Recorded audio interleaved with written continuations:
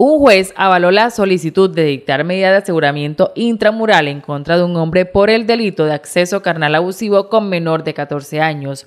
Los hechos, materia de investigación, se presentaron en la vivienda de la cuidadora de la menor, quien es novia del victimario, ubicada en el barrio Mirranchito de Montería.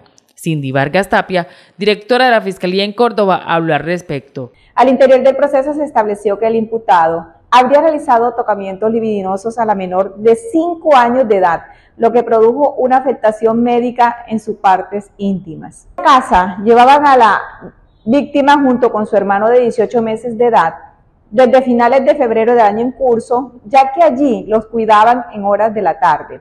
A su vez, se estableció que el imputado le habría pedido a la menor que no le contara nada a su mamá de lo sucedido que le guardara el secreto. Sin embargo, al día siguiente la menor le narró a su familia lo ocurrido, ya que tenía molestia en donde habría sido tocada. El 27 de octubre del año en curso, funcionarios de la SIGIN de la Policía Nacional materializaron la orden de captura en contra del indiciado en la misma ciudad de los hechos. Aunque este no aceptó cargos, un juez penal municipal de esta ciudad lo envió a prisión. Chica Noticia, siete años informando a tu lado.